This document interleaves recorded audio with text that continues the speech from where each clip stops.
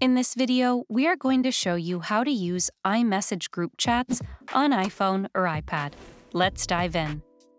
Group chats are highly effective when conveying information to several people simultaneously.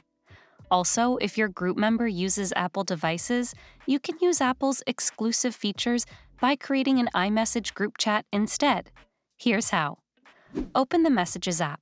In the top right corner, tap on the Compose icon. Now tap on the To search bar. Type the contact's name you wish to add to the group chat and select them from the search results. Once you add two or more contacts, use the message bar to type a message. Then tap the send icon. Once the message has been sent, it will automatically make a group chat on your iPhone or iPad. Now, if you want to react to messages, then open the Messages app and tap on the relevant group chat. Here, long press on the message you want to react to. Tap on the relevant reaction. Done!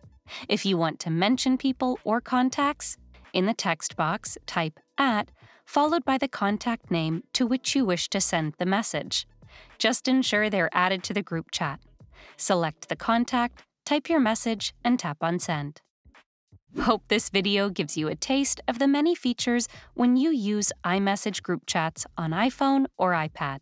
For more tech tips and tricks like these, subscribe to Guiding Tech and discover one of these videos, handpicked just for you.